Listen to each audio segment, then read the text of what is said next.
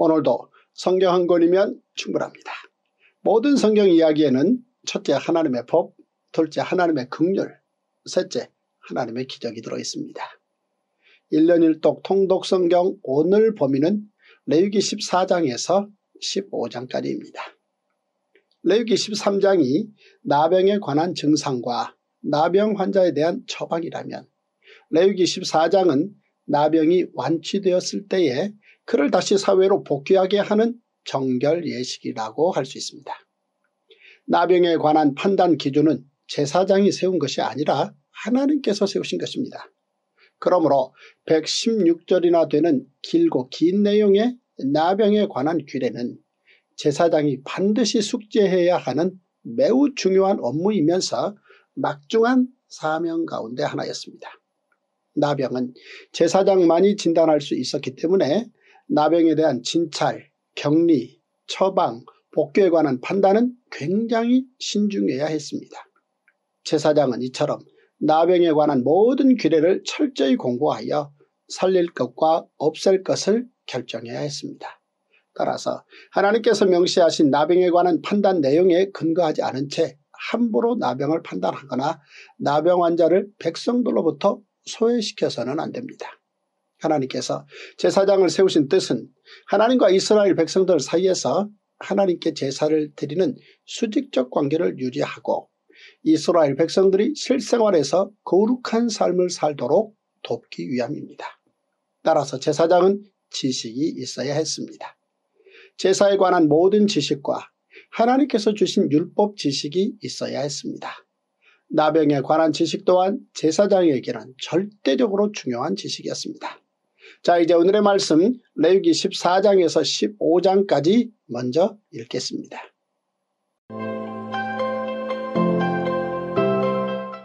제37일 레위기 14장 여호와께서 모세에게 말씀하여 이르시되 나병 환자가 정결하게 되는 날의 규례는 이러하니 곧 그 사람을 제사장에게로 데려갈 것이요 제사장은 진영에서 나가 진찰할지니 그 환자에게 있던 나병 환부가 나았으면 제사장은 그 정결함을 받을 자를 위하여 명령하여 살아있는 정결한 새 두 마리와 백향목과 홍색실과 우술초를 가져오게 하고 제사장은 또 명령하여 그 새 하나는 흐르는 물 위 질그릇 안에서 잡게 하고 다른 새는 산채로 가져다가 백향목 백목과 홍색실과 우술조와 함께 가져다가 흐르는 물 위에서 잡은 새의 피를 찍어 나병에서 정결함을 받을 자에게 일곱 번 뿌려 정하다 하고 그 살아있는 새는 들에 놓을지며 정결함을 받는 자는 그의 옷을 빨고 모든 털을 밀고 물로 몸을 씻을 것이라. 그리하면 정아린이 그 후에 진영에 들어올 것이나 자기 장막 밖에 이래를 머물 것이요. 일곱째 날에 그는 모든 털을 밀되 머리털과 수염과 눈썹을 다 밀고 그의 옷을 빨고 몸을 물에 씻을 것이라. 그리하면 정하리라. 여덟째 날에 그는 흠없는 어린 순양 두 마리와 일년된 흠없는 어린 암양 한 마리와 또 고운 가루 10분의 3 에바의 기름 섞은 소재물과 기름 한 록을 취할 것이요. 정결하게 하는 제사장은 정결함을 받을 자와 그 물건들을 회막문 여호 여호와 앞에 두고 어린 순양 한 마리를 가져다가 기름 한 록과 아울러 속건제로 들이되 여호와 앞에 흔들어 요제를 삼고 그 어린 순양은 거룩한 장소 곧 속죄제와 번제물 잡는 곳에서 잡을 것이며 속건제물은 속죄제물과 마찬가지로 제사장에게 돌릴지니 이는 지극히 거룩한 것이니라. 제사장은 그 속건제물의 피를 취하여 정결함을 받을 자의 오른쪽 귓뿌리와 오른쪽 엄지 손가락과 오른쪽 엄지 발가락에 바를 것이요 제사장은 또 그 한 록의 기름을 취하여 자기 왼쪽 손바닥에 따르고 오른쪽 손가락으로 왼쪽 손에 기름을 찍어 그 손가락으로 그것을 여호와 앞에 일곱 번 뿌릴 것이요 손에 남은 기름은 제사장이 정결함을 받을 자의 오른쪽 귓뿌리와 오른쪽 엄지 손가락과 오른쪽 엄지발가락 곧 속건제물의 피 위에 바를 것이며 아직도 그 손에 남은 기름은 제사장이 그 정결함을 받는 자의 머리에 바르고 제사장은 여호와 앞에서 그를 위하여 속죄하고 또 제사장은 속죄제를 드려 그 부정함으로 말미암아 정결함을 받을 자를 위하여 속죄하고 그 후에 번제물을 잡을 것이요. 제사장은 그 번제와 소제를 제단에 들여 그를 위하여 속죄할 것이라. 그래야면 그가 정결하리라. 만일 그가 가난하여 그의 힘이 미치지 못하면 그는 흔들어 자기를 속죄할 속건제를 위하여 어린 순양 한 마리와 소제를 위하여 고운 가루 10분의 1 에바에 기름 섞은 것과 기름 한 록을 취하고 그의 힘이 미치는 대로 산비둘기 둘이나 집비둘기 새끼 둘을 가져다가 하나는 속죄제물로 하나는 번제물로 삼아 여덟째 날에 그 결례를 위하여 그것들을 회막문 여호와 앞 제사장에게로 가져갈 것이요. 제사장은 속건제의 어린 양과 기름 한 록을 가져다가 여호와 앞에 흔들어 요제를 삼고 속건제의 어린 양을 잡아서 제사장은 그 속건제물의 피를 가져다가 정결함을 받을 자의 오른쪽 귓뿌리와 오른쪽 엄지손가락과 오른쪽 엄지발가락에 바를 것이요. 제사장은 그 기름을 자기 왼쪽 손바닥에 따르고 오른쪽 손가락으로 왼쪽 손에 기름을 조금 찍어 여호와 앞에 일곱 번 뿌릴 것이요. 그 손의 기름은 제사장이 정결함을 받을 자의 오른쪽 귓뿌리와 오른쪽 엄지손가락과 오른쪽 엄지발가락 곧 속건제물의 피를 바른 곳에 바를 것이며 또 그 손에 남은 기름은 제사장이 그 정결함을 받는 자의 머리에 발라 여호와 앞에서 그를 위하여 속죄할 것이며 그는 힘이 미치는 대로 산비둘기 한 마리나 집비둘기 새끼 한 마리를 드리되 곧 그의 힘이 미치는 대로 한 마리는 속죄제로 한 마리는 소제와 함께 번제로 드릴 것이요 제사장은 정결함을 받을 자를 위하여 여호와 앞에 속죄할지니 나병 환자로서 그 정결 예식에 그의 힘이 미치지 못한 자의 규례가 그러하니라. 여호와께서 모세와 아론에게 말씀하여 이르시되 내가 내게 기업으로 주는 가나안 땅에 너희가 이를 때에 너희 기업의 땅에서 어떤 집에 나병 색점을 발생하게 하거든 그 집 주인은 제사장에게 가서 말하여 알리기를 무슨 색점이 집에 생겼다 할 것이요? 제사장은 그 색점을 살펴보러 가기 전에 그집 안에 있는 모든 것이 부정을 면하게 하기 위하여 그 집을 비우도록 명령한 후에 들어가서 그 집을 볼지니 그 색점을 볼 때 그 집 벽에 푸르거나 붉은 무늬의 색점이 있어 벽보다 오목하면 제사장은 그 집 문으로 나와 그 집을 이래 동안 폐쇄하였다가 이래 만에 또 가서 살펴볼 것이요. 그 색점이 벽에 퍼졌으면 그는 명령하여 색점 있는 돌을 빼내어 성박 부정한 곳에 버리게 하고 또 집안 사방을 긁게 하고 그 긁은 흙을 성박 부정한 곳에 쏟아버리게 할 것이요. 그들은 다른 돌로 그 돌을 대신하며 다른 흙으로 집에 바를지니라. 돌을 빼내며 집을 긁고 고쳐 바른 후에 색점이 집에 재발하면 제사장은 또 가서 살펴볼 것이요. 그 색점이 만일 집에 퍼졌으면 악성 나병인즉 이는 부정하니 그는 그 집을 헐고 돌과 그 제목과 그 집의 모든 흙을 성박 부정한 곳으로 내어갈 것이며 그 집을 폐쇄한 날 동안에 들어가는 자는 저녁까지 부정할 것이요 그 집에서 자는 자는 그의 옷을 빨 것이요 그 집에서 먹는 자도 그의 옷을 빨 것이니라. 그 집을 고쳐 바른 후에 제사장이 들어가 살펴보아서 색점이 집에 퍼지지 아니하였으면 이는 색점이 나은 것이니 제사장은 그 집을 정하다 하고 그는 그 집을 정결하게 하기 위하여 새 두 마리와 백향목과 홍색실과 우술초를 가져다가 그 새 하나를 흐르는 물 위 질그릇 안에서 잡고 백향목과 우술초와 홍색실 과 살아있는 새를 가져다가 잡은 새의 피와 흐르는 물을 찍어 그 집에 일곱 번 뿌릴 것이요 그는 새의 피와 흐르는 물과 살아있는 새와 백향목과 우술초와 홍색실로 집을 정결하게 하고 그 살아있는 새는 성박 들에 놓아주고 그 집을 위하여 속죄할 것이라 그러면 정결하리라. 이는 각종 나병 환부에 대한 규례니 곧 옴과 의복과 가옥의 나병과 돋는 곳과 뾰루지와 색점이 어느 때는 부정하고 어느 때는 정함을 가르치는 것이니 나병의 규례가 이러하니라. 레위기 15장 여호와께서 모세와 아론에게 말씀하여 이르시되 이스라엘 자손에게 말하여 이르라. 누구든지 그의 몸에 유출병이 있으면 그 유출병으로 말미암아 부정한 자라. 그의 유출병으로 말미암아 부정함이 이러하니 곧 그의 몸에서 흘러나오든지 그의 몸에서 흘러나오는 것이 막혔든지 부정한즉 유출병 있는 자가 눕는 침상은 다 부정하고 그가 앉았던 자리도 다 부정하니 그의 침상에 접촉하는 자는 그의 옷을 빨고 물로 몸을 씻을 것이며 저녁까지 부정하리라. 유출병이 있는 자가 앉았던 자리에 앉는 자는 그의 옷을 빨고 물로 씻을 것이요 저녁까지 부정하리라. 유출병이 있는 자의 몸에 접촉하는 자는 그의 옷을 빨고 물로 몸을 씻을 것이며 저녁까지 부정하리라.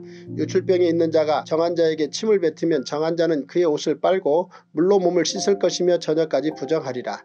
유출병이 있는 자가 탔던 안장은 다 부정하며 그의 몸 아래에 닿았던 것에 접촉한 자는 다 저녁까지 부정하며 그런 것을 옮기는 자는 그의 옷을 빨고 물로 몸을 씻을 것이며 저녁까지 부정하리라. 유출병이 있는 자가 물로 그의 손을 씻지 아니하고 아무든지 만지면 그 자는 그의 옷을 빨고 물로 몸을 씻을 것이며 저녁까지 부정하리라. 유출병이 있는 자가 만진 질그릇은 깨뜨리고 나무 그릇은 다 물로 씻을지니라. 유출병이 있는 자는 그의 유출이 깨끗해지거든 그가 정결하게 되기 위하여 이래를 센 후에 옷을 빨고 흐르는 물에 그의 몸을 씻을 것이라. 그러면 그가 정하리니 여덟째 날에 산비둘기 두 마리나 집비둘기 새끼 두 마리를 자기를 위하여 가져다가 회막문 여호와 앞으로 가서 제사장에게 줄 것이요 제사장은 그 한 마리는 속죄제로 다른 한 마리는 번제로 드려 그의 유출병으로 말미암아 여호와 앞에서 속죄할지니라. 설정한 자는 전시를 물로 씻을 것이며 저녁까지 부정하리라. 정수가 묻은 모든 옷과 가죽은 물에 빨 것이며 저녁까지 부정하리라. 남 녀가 동침하여 설정하였거든 둘 다 물로 몸을 씻을 것이며 저녁까지 부정하리라. 어떤 여인이 유출을 하되 그의 몸에 그의 유출이 피이면 이랫동안 불결하니 그를 만지는 자마다 저녁까지 부정할 것이요 그가 불결할 동안에는 그가 누웠던 자리도 다 부정하며 그가 앉았던 자리도 다 부정한즉 그의 침상을 만지는 자는 다 그의 옷을 빨고 물로 몸을 씻을 것이요 저녁까지 부정할 것이며 그가 앉은 자리를 만지는 자도 다 그들의 옷을 빨고 물로 몸을 씻을 것이요 저녁까지 부정할 것이며 그의 침상 위에나 그가 앉은 자리 위에 있는 것을 만지는 모든 자도 저녁까지 부정할 것이며 누구든지 이 여인과 동침하여 그의 불결함에 전염되면 이래 동안 부정할 것이라 그가 눕는 침상은 다 부정하니라. 만일 여인의 피의 유출이 그의 불결기가 아닌데도 여러 날이 간다든지 그 유출이 그의 불결기를 지나도 계속되면 그 부정을 유출하는 모든 날 동안은 그 불결한 때와 같이 부정한 즉 그의 유출이 있는 모든 날 동안에 그가 눕는 침상은 그에게 불결한 때의 침상과 같고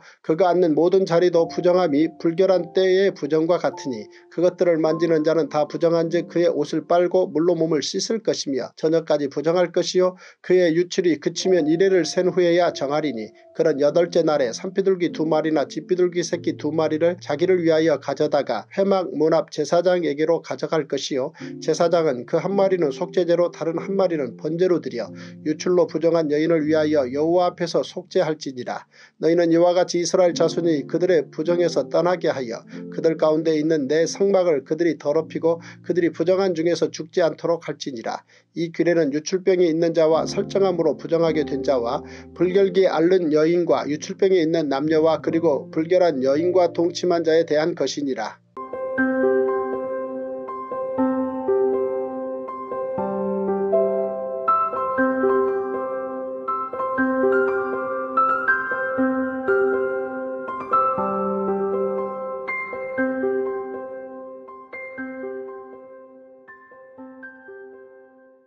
오늘의 말씀 레위기 14장에서 15장에 등장하는 성경 지리 즉 공간은 시내산이고 등장인물은 모세와 아론입니다. 오늘은 제사장 나라 법 가운데 어떤 집에 나병 색점이 발생했을 때에 관한 규례와 나병이 완치되었을 때에 그를 다시 사회로 복귀하게 하는 정결 예식에 대해 살펴보겠습니다. 레위기 14장에 기록된 집에 나병 색점이 발생했을 때에 관한 규례는 모두 9가지 항목으로 상당히 복잡합니다. 33절에서 53절까지 기록을 간단히 살펴보면 첫째, 그 집을 비우도록 명령한 후에 들어가서 그 집을 볼지니. 둘째, 그 집을 이래 동안 폐쇄하였다가.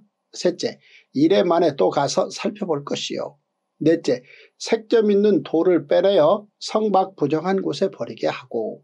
다섯째, 다른 돌로 그 돌을 대신하며 다른 흙으로 집에 바를지니라.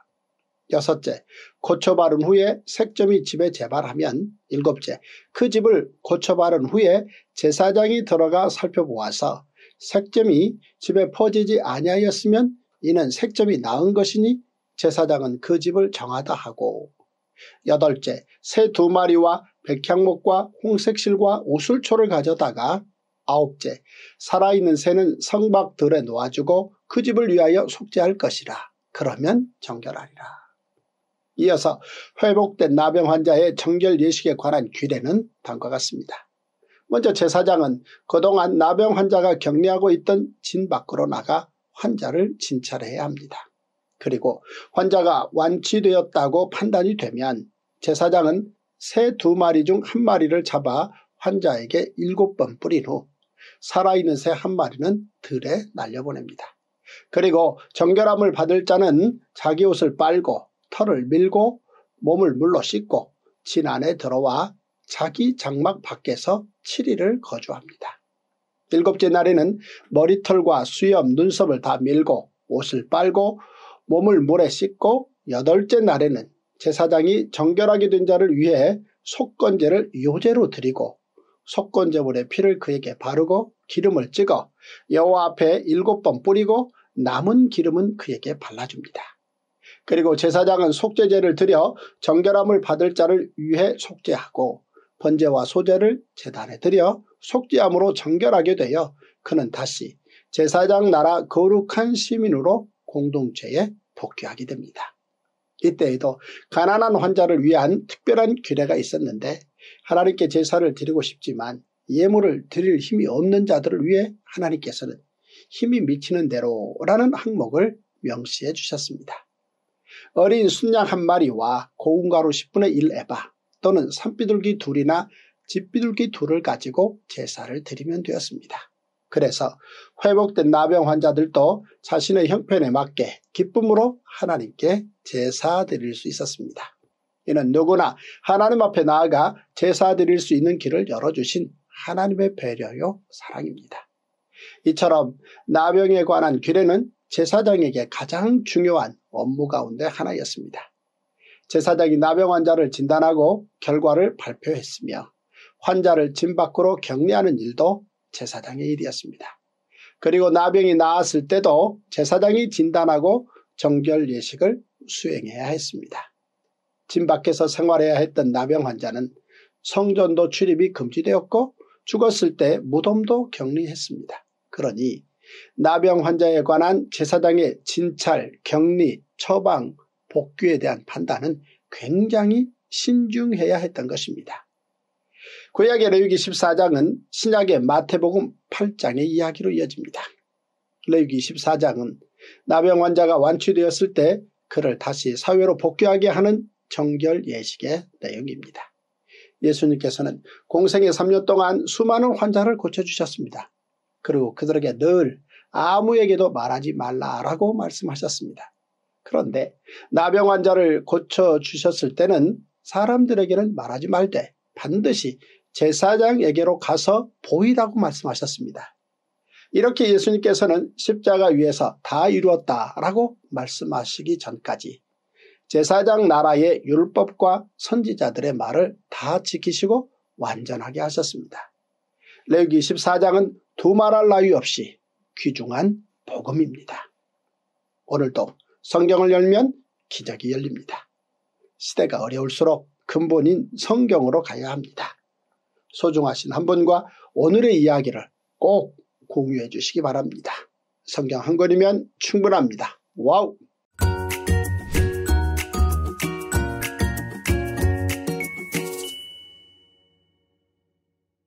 히말라야 2만여 개 마을의 복음화를 위한 에베레스트산 선교훈련센터 건립에 여러분의 기도와 한 구좌 동참을 부탁드립니다.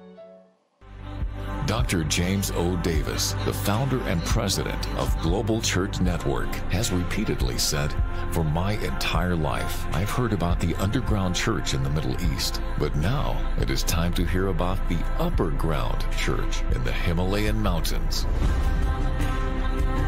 The Himalayan mountains are 1,500 miles wide, ranging from Bhutan to Nepal, India, Pakistan, and Afghanistan. There are more than 20,000 villages in the higher altitudes that have never had a local church in them. Mount Everest Training Center. The Mount Everest Training Center will be located in Salokambu, Nepal at the 8,000 foot level. Salokambu has a population of more than 110,000 people. The training center is just 7 miles from the Everest Base Camp at 17,500 feet and 15 miles from Mount Everest Peak, which is at 29,032 feet. In addition to training leaders during the week, the Mount Everest Training Center will serve as a phenomenal church on the weekends.